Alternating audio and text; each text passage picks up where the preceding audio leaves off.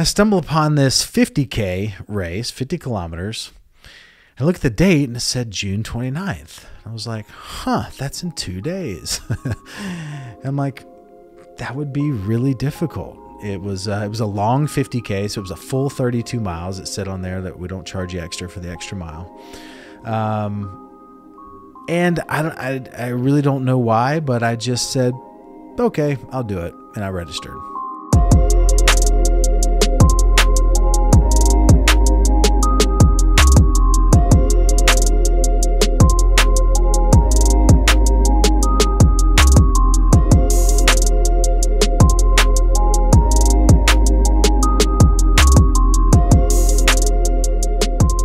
On a random Thursday, um, I had worked out legs that morning extremely hard. And it was around 11 uh, a.m., 12 p.m. I had a little lull in my day, and I started thinking to myself, I'm like, I need to do something crazy. I need to do some type of physical like challenge. And so I started looking up races. And let me back up a little bit. This stemmed from a conversation. I had a conversation with Dan Waldschmidt. For those of you that don't know Dan Waldschmidt, um, he's an incredible human being, um, but ultra endurance athlete. He's done tons of crazy, like you know marathons ultra marathons 100 mile races 24 hour races. Um, he just did the everest challenge where he's like one of like eight or 11 i can't remember people that have ever ran the entire you know elevation of everest. It took him like 23 straight hours of running uphill uh, the entire time. Um, but just you know unbelievable in that world. Um, but he's also an incredible businessman has had his hands in a million different areas of business and has had some incredible successes. Um, he spoke at our recent Top Gun event where we bring our top 25 coordinators in to here into Greenville, South Carolina, and he spoke and it was absolutely incredible. Uh, I was having coffee with him, have developed a, a nice friendship with Dan, and we were having coffee together and he mentioned um, you know we just talked about a lot of uncertainty chaos stuff going on in business you know a lot of different things up in the air. He's like man you just need to you know go do some kind of you know big physical challenge. He said you know go do something like what seems impossible to you? What sounds impossible? I was like well at that point that was like four or five weeks ago. I had furthest i had run was seven miles. I was like i mean a marathon sounds impossible. I mean right right now that would be impossible. He's like well you, just sign up for a marathon. Then, in true Dan Waldschmidt fashion, he says, Well, if you're going to do 26.2, you might as well run 30 miles. And if you're going to run 30 miles, you might as well do a 50K because that's like 31, 32 miles. And he kept on going. Like, if you're going to do 50K, all the way up to like, yeah, I think ran like across the country or something. I'm like, Well, okay, I'll look for a marathon. So, that Thursday, I'm just looking up races, thinking like in the next few weeks, the next few months, that way I can start training for something and start figuring out what I need to do. And I stumble upon this 50K race, 50 kilometers. I look at the date and it said June 29th. I was like, huh, that's in two days. I'm like, that would be really difficult. It was uh, it was a long 50k, so it was a full 32 miles. It said on there that we don't charge you extra for the extra mile. Um, and I don't, I, I really don't know why, but I just said, okay, I'll do it. And I registered. It was five and a half hours away. It was up in Farmville, Virginia. And if there's a more stereotypical name for a town that's in the middle of nowhere, Farmville is the perfect name. Uh, it was in the middle of nowhere, and it was a night race. And so it started at 5:30 p.m. and was went into the night. Um, so a couple of things there. So number one, I, start researching because I know nothing about running. Like I don't even know if I run the right way. Like I was kind of convinced in my head that I was probably like creating more work than than needed based on like my stride and all that kind of stuff. Also knew nothing about the nutritional side, the hydration side, like what's required to put your body through a 32 mile race. And so I start googling some stuff the first thing I Google, um, talking about prepping for a marathon, it says, whatever you do, make sure you don't train legs two weeks prior to the race. And I'm like, that's awesome because I killed my legs this morning and the race is in like 36 hours. It's great. So that was not good. Uh, when I woke up the next morning on Friday, my legs were so sore When I woke up on Saturday before the race, my legs were even more sore. So that was a whole nother story trying to get rid of the soreness leading up to the race. Nonetheless, um, luckily I had a, a, great friend of mine, uh, Becky Willenberg. Um, her wife Wendy's one of my dear, dear best friends. Ten years now. Um, Wendy works with us as well here. Um, but Becky has run a bunch of Ironmans. She's done last year. She did a marathon a month um, which is crazy. Uh, and so she helped me with like, hey, make sure you buy this and buy that, and these base salts and these, you know, uh, different types of like carb and sugar, like little stinger chews and gels and the peanut butter packs and the this and that and ketones and scratch and like all this stuff that like meant nothing to me. So I go buy all this stuff. I spent like a thousand bucks um, because I had to buy like another pair of shoes. I just bought a new pair of uh, Hoka um, running shoes, which are incredible. When bought a second pair, that way I could switch halfway. I could put on a fresh pair of shoes and a fresh pair of socks. Bought all this gear, CamelBak, and these bottles, and like just all this stuff. And so I hit I hit the road after work on Friday. Um, got up to Farmville, Virginia at like midnight Friday night, and I got to wake up and start preparing for this race, which is on Saturday, starting at 5:30 p.m. So I wake up, I sleep in. I woke up at like 9 a.m. I'm like, I guess I'm supposed to be carb loading and staying hydrated. So I went and ate a bunch of pancakes at this little diner no lie, this diner in Farmville, Virginia sat nine. It was like one bar top, like one bar that could fit nine people in there, but it's probably the best pancakes I've ever had in my life, of course.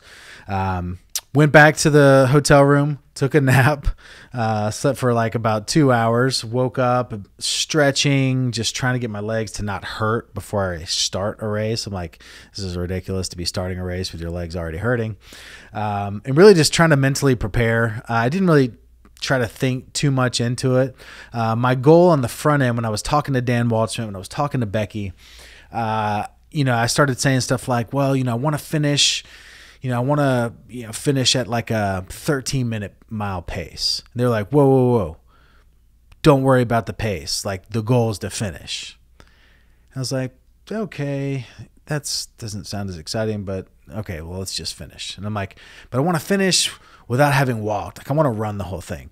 Dan's like, don't don't put that out there just finish because then like if you do walk you're going to feel like defeated and then you know you may not finish the whole thing i'm like man, this is really kind of like dumbing it down. But nonetheless, I was like, cool, I just want to finish. And so, you know, we go to the start of the race. I'm like running late because I didn't realize how long it was going to take to like put all this stuff together. I was there by myself I don't think I mentioned this. I was there by myself. So I drove up by myself. I didn't have like a crew or like someone helping me.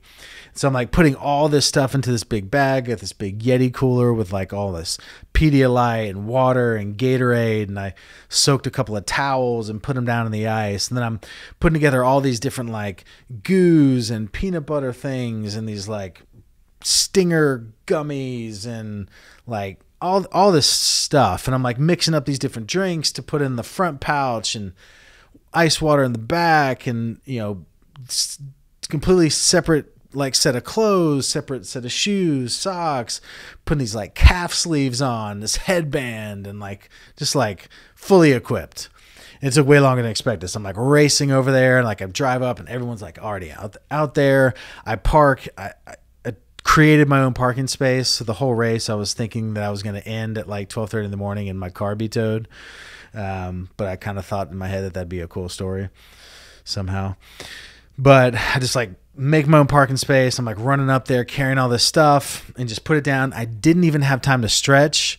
I basically like while they were like announcing like, hey, here are the guide guidelines before we get started. I'm just kind of like you know shaking it out, trying to like at least do something, and then go. And so go. Uh, we went. It was like 87 degrees, and we started at 5:30 p.m. and it was on gravel, like a gravel type trail which I'd never run on ever before as well. Uh, so that was different because your feet are kind of moving a little bit as you're going. Um, probably the most frustrating thing throughout um, was the gravel because I didn't have the little gator things or whatever that cover your like ankle to your shoe and so i kept getting rocks in my shoe and they would you would feel like as you're running you would kind of feel them work their way from like your heel to like your arch to like all the way to your toes but you didn't want to stop and you know empty your shoe because you're so stiff and you start to stiffen up so quickly when you stop you're just like screw it i'll just run these last four miles of this leg you know with a giant rock on my big toe. Um, but all in all uh, the experience was awesome. Um, you know i stayed at a pretty good pace about a uh, 12 minute pace. And you know people were passing me left and right. Like you know i was probably the biggest guy there. Um, I could definitely say that looking back. Uh, there were like 250 people that ran the race. The majority of them were doing, well, uh, you know, 120 of them were doing a half marathon, and then about 132 uh, did the 50K. And so it was 8.7 miles out. And there was an aid station where you could fill up, you know, your water. They had some you know oranges bananas pb&j stuff like that which i took full advantage of. And then you know 8.7 miles back to the starting point. And so at that point you're about you know halfway through the race. And so at that point i changed socks changed shoes. I put one of those soaking wet ice cold towels over my head. And um, and you know started back on you know the the second half of the race. Uh, the second half of the race is when things got interesting because at that point you know it was around I don't know nine nine thirty, starting to get dark. Had to put my headlamp on, and you know at this point it's just the people doing the fifty k, and it was pretty spread out. Like you had a group of like people that do this all the time that were like way out ahead. And then you had like these giant gaps between people. So i would go sometimes you know four or five minutes without seeing another person. Uh, the only thing it's pitch dark now. The only thing you can see is just whatever your light shining in front of you which i realized also turned into like literally a bug light because all the bugs would just be attracted to this light that was on your forehead. So you're getting pelted in the head and face and like worried about inhaling bugs at that point. Um, but just kept going and just kept going. The only time I ever walked was um, every two miles, and this is based on Re- Becky's recommendation. Was she said about every twenty or so minutes, I needed to eat one of these like either peanut butter pouch things or the carb like loaded gummy things. And so, you know, every two miles, I would kind of speed walk while I took my, you know, CamelBak off and got those out and put it in my mouth and put my backpack on and start back running. So basically ran the whole time. At the aid station, I would stop and, you know, have them, you know, refill my front two uh, pouches of ice water, you know, grab something to eat real quick and so that slowed my average time because those miles that there would be an aid station would be like 14 minute miles, which was kind of annoying as far as slowing down my ultimate average uh, speed. But just kept trucking, just kept trucking. And people were passing me and passing me and passing me. But the coolest feeling of this whole race was the last, I'd say, five miles so that second half, you go down about five point something miles. There's an aid station. You go 2.9 miles further. Then you got then you're at the turnaround, and then you're just heading back to the to the finish line. And those last five miles were really, really, really special. Uh, you know, it's pitch dark, and you know at that point you're I've run what 27 miles. The furthest I'd ever run was 13. So at that time, I've already ran a marathon and you're just sitting there like almost in amazement of like how far you can actually push yourself. I'm like, man, I've already ran a marathon and I'm still running. Like I'm still good. Like this is this is crazy. And the coolest part about it, and it, it kind of to me brought back the David Goggins Can't Hurt Me. For those of you that can't haven't read that book, I almost said can't read that book haven't read that book, um, highly recommend it. It's actually sitting right here below me. Um, awesome book, pretty raw, pretty terrible language. So if that offends you, maybe don't read it.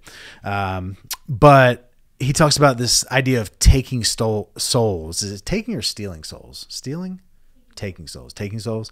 This idea of like taking souls and like in those moments where it's just like so difficult just like basically like making it a game in your head. And like he would like hum and like sing and it would just drive people absolutely crazy. And the coolest part about that last five miles is these people that have been passing me left and right throughout the first three fourths of this race I started passing them and they were walking or they were like stopped. Like one guy was laying on the ground. I was like, dude, are you all right? He's like, yeah, I'm good. I'm like, are you sure? Like, do you need anything? He's like, no, I'm good. He's just laying there on the side of the road.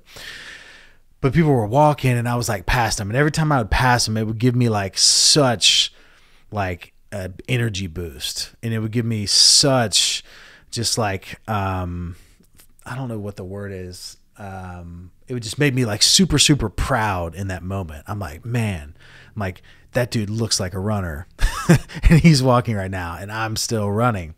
So I started passing a bunch of people um, those last five miles. And I think the last whole two miles, I didn't see a single person. There was nobody in my sight because you would kind of look behind you and you could see the little headlights and there was nobody like anywhere close. And so those last two miles, I'm coming in. I mean, I'm drenched. I'm exhausted. I got so many rocks in my freaking shoes, but I know I'm, you know, pulling into the the final stretch. The most probably anticlimactic finish of all time. I want you to imagine this for me. You've just run this race. You've just ran 32 miles, like crazy. It's an ultra marathon, like 32 miles, the furthest you'd ever run 13 miles. All this stuff stacked against you. But the reality is it's 12:30 in the morning there were like four people at the finish line. This big finish line. It's got the big, you know, time up on the thing. There's like four people there, like waiting for their dad or waiting for their brother or their best friend. Four people there just kind of going, Yay, good job. And I'm coming in running like freaking David Goggins coming in there to the finish line. And I pass the finish line. I just stop. I look around and see these four people, and I'm like, well, I guess I'll go back to the hotel now. like it was, it was so like anticlimactic. Like you think of the New York Marathon, you got thousands of people with cowbells that like last stretch, and it's like this like you know glorious moment. Like you think of that dun dun dun dun dun dun, like you're running in like slow motion. It was literally like four people that were like, "Hey, hey, bro, good job." I'm like, thanks. I'm gonna go. I'm gonna go home now. I feel like Napoleon Dynamite. I was just like I'm gonna go. So it was kind of weird at the end. Um, I felt like I could have kept going. That was the coolest part. Like I felt like I could have kept going. Like I felt like I had way more in the tank. It was it was more comfortable if I had continued to run than stopping at that point because I sat down for five minutes and I was taking my shoes off and I was putting this wet, you know, cold towel over my head. I sat down for five minutes and I was like, oh, I'm going to do an Instagram story and, you know, kind of talk about the finish. When I stood up, it was horrendous. Like it was, I was in my everything was like locking up. I was like, crap. If I would just kept on running, I'd be fine right now. Um, but it was really, really bad uh, when I when I got up. Um, but the coolest thing was being able to document this whole process um, through Instagram stories. Like every three, four, five miles, I would jump on there, and be like, hey, just passed mile twelve, or hey, I'm at mile twenty. And I did a uh, post yesterday and it was from an Instagram story that I did, and it was like the moment when like I knew there was nothing that was going to stand in the way of me finishing it, barring me like breaking my leg. Um, but there's this Instagram story where I'm just like selfie style looking into the camera, and I'm like, just ate a PB and J, just got my water refilled, and I looked at it, and I was like, I feel unstoppable. and I'm like halfway delirious, but it was like at the 22 mile mark, I think, at that point. And I did. Like I felt unstoppable. I really did. And I kept on saying that to myself over and over and over that that I'm unstoppable. I'm unstoppable. Like that this is nothing. Um, coincidentally, people keep asking me like what what were you listening to the entire time? The only thing I listened to as odd as it is, was Erwin McManus. I listened to 11 sermons um, from Mosaic Church, Erwin McManus. I sent him a DM telling him that, and he responded, which was pretty cool. Um, but that's all I listened to the whole time. And I can tell you, pitch dark with a headlamp on in the middle of the night, some of those sermons, I felt like he was actually just talking to me. Like I, I was like looking around, like, like, is anybody was this recorded live? Was this for anybody else but me? Um, but it was an incredible experience to be able to kind of go through that and you know, that's a whole nother podcast probably not the sales wolves podcast. Um, but it was a really really cool experience. And so let me kind of close this out by saying my biggest takeaway my biggest takeaway is that we are all capable of so much more than we realize. Like going into that race, having ran 13 miles, like it was ridiculous for me to think that I could do it.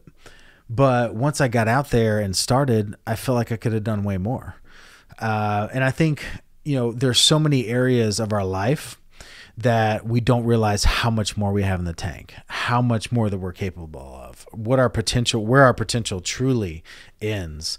And I think the the most interesting part was when I quit, when I stopped, like when I finished. That was when the pain set in. And so if you think about that in, in your life, any pain that you've gone through or any pain that you may be going through right now, is it possible that it's coming from you stopping short, or it's coming from you quitting something, or it's coming from you not pushing yourself as far as you could go? Is the pain that you're feeling, is the struggle that you're going for stemming from some area in your life where you're not absolutely going all in? Some area of your life where you've allowed external sources, where you've allowed other people, other things to tell you, oh well that's about all you can do. Or yeah that's just that's that's not something that i would do if i were you. Or you know i, I don't think that's such a good idea is that possibly where some of the pain in your life is coming from? And for me, it really challenged me to real to figure out like what are those other areas of my life? Not running related not even physical related. Like what are the other areas of my life? Business relationships with my mind that i'm still just scratching the surface of my potential still just scratching the surface of what's possible and how far i could potentially take it and what pain will be caused if I don't continue to keep pushing. What pain will ultimately cause me to cramp up and cause me uh, to feel fatigued if I don't keep going.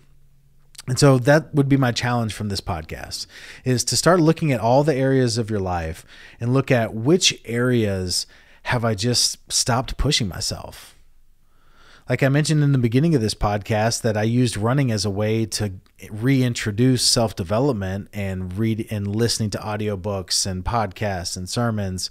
I had to reintroduce that because I realized that was an area that I had stopped pushing.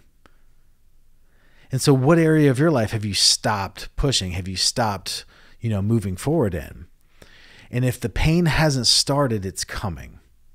And so the quicker you can become aware of where those areas are that you have let up, the quicker that you can adjust and start going all in in those areas. And so for me, we're going to see where we can take it uh, physically. Um, I'm doing another 50K uh, in three days. It's uh, on the 13th. Um, so looking forward to that one. Pablo's going to be at that one, so we'll have a little more, a little bit more uh, highly produced, uh, higher produced uh, quality than my selfies in the middle of the night. Uh, this one's during the day as well, uh, but it's called the Reaper Challenge. The one I'm doing is called the Death Pepper 50K. It's through the middle of the day in July in South Carolina. 50K. So that'll be fun. And we'll see where it goes from there. I have no idea. Um, but I'm extremely grateful that I had that random urge on a Thursday to sign up for that race because um, it was quite an experience that I'll never forget. And it is something that I know will propel me to do greater and greater and greater things. And so I hope you guys have enjoyed hearing a little bit of the recap of that. And I hope you took something away from that. And I hope you really take that challenge seriously of searching for those areas in your life um, that may be either causing pain or will cause pain in the future if you don't hammer down. Random urge yesterday morning to try some kind of crazy physical activity. So I started looking up races, ended up finding a 50K, and lo and behold, it is tomorrow. So, with uh, zero preparation, the furthest I've ever ran is 15 miles. I'm headed to Virginia to run. This one's actually a long one. It's 32 miles at nighttime. It doesn't start till 5:30 p.m. on gravel, which I've never ran on gravel. And uh, yeah, I guess that about sums it up. So we're gonna go do that. Hope you guys have an absolutely awesome Friday and a great weekend. I'll be coming back at you periodically. Good morning. Slept till 9 a.m. It's incredible. I'm extremely sore this morning. Really regretting that leg workout two days ago. Not exactly ideal. All right, what's up, everybody? Just woke up from a nap, got a little stretch in. Now I'm headed to the uh, packet pickup here, and uh, then I'm gonna get, I think, a little bit more food and keep resting. So I guess this is the white gravel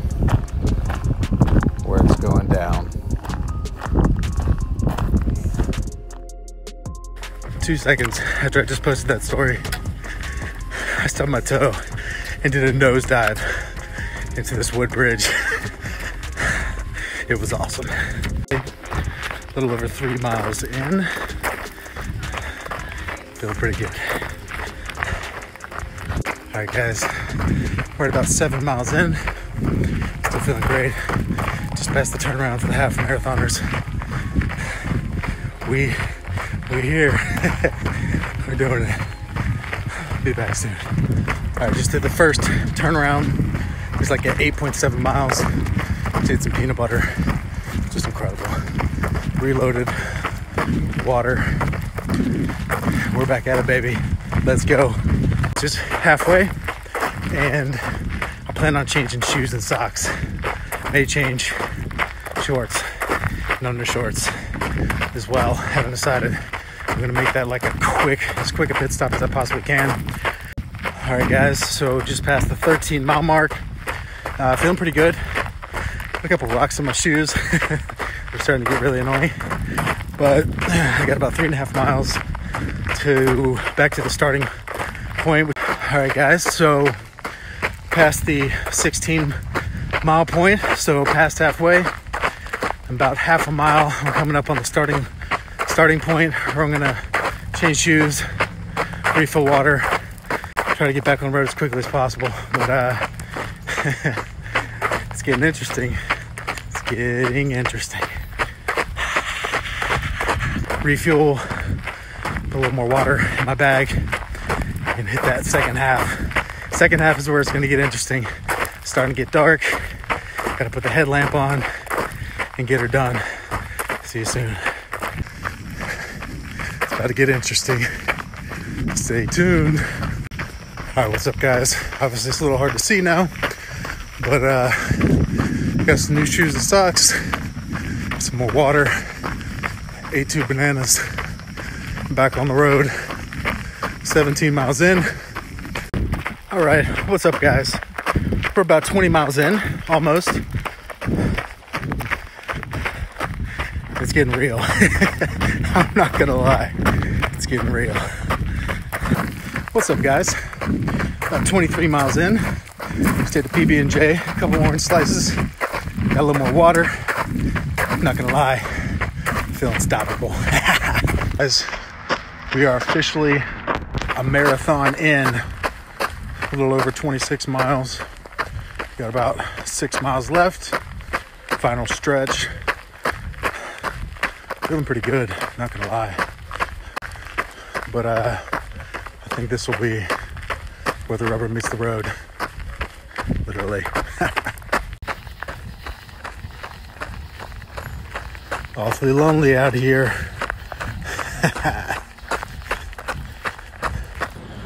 All right, guys, it's done. Finished 32 miles, 50k. And uh, I'm not gonna lie, think I had a little more in the tank. It really wasn't that bad uh, until I just sat down. And now that I just got up after sitting down for like five minutes, it's it's it is incredibly painful. But uh, yeah, it was it was a lot of a lot of fun. It was uh, those last probably six miles pitch dark, you know, nothing but heart at that point. And uh, so grateful for the opportunity. I'm so glad that I drove five and a half hours up here on a just whim to do this. Um, really excited, really happy, and uh, really tired. So appreciate you guys joining me along for the ride. What's up, guys? Just got back to the hotel room, and and I'm starting to hurt really, really bad. Uh, but I just felt like jumping on here and saying because I felt like there's someone out there that may need to hear this that maybe the pain that you're feeling right now is coming from you always stopping short. And maybe if you just kept moving, if you just kept pushing forward, then that pain would go away. Because it wasn't until I stopped. Like I was feeling great when I ran, but the second that I stopped, the second that I sat down, the set up, the second that it began to rest was when the pain set in. So if that's you, if that's someone that's experiencing pain right now, then what is it in your life? What area in your life do you need to keep moving forward for that pain to subside? Keep moving forward for that pain to go away. I don't know what it is. I don't know who this is for, but if it's for you, let me know. What's up, guys? It's Sunday morning. I am alive. I am alive. And uh, I'm sore, but it's really not that bad. Um, a couple of people I wanted to acknowledge. A couple people I wanted to acknowledge. The first is Dan Waldschmidt. I'll link him up here. I sat down with Dan for coffee four weeks ago, and I was just talking about a lot of different chaos and uncertainty in my life. He said, "Man, you just need to go do some crazy physical challenge. Like, what would what seems impossible? What would be impossible for you?" And I said, "Well, uh, you know, marathon, that would that would be impossible. And he said, well, if you're gonna run a marathon, if you're gonna do 26, you might as well do 30, and if you're gonna do 30, you might as well go ahead and do a 50k. And at the time, I just kind of laughed. I was like, yeah. And here we are, you know, four weeks later, and we got it done. So big shout out to uh, Dan Waldschmidt for the push. The next person I want to acknowledge is Becky Willenberg. Becky's a dear, dear friend of mine. Um, her wife, uh, Wendy Dieterland, is one of my best friends in the world. Uh, Becky is a crazy, crazy endurance athlete. Like the stuff she does just blows my mind. But she was instrumental and extremely helpful with telling me like what to eat and you know what to do at certain times and you know coming from someone that had zero knowledge of any of this uh, i truly believe i would not have made it uh, through this 32 mile race without her. So huge, huge, huge thank you to Becky. Uh, and she just means the absolute world to me, anyways. Uh, but this was just uh, tremendous, tremendous help.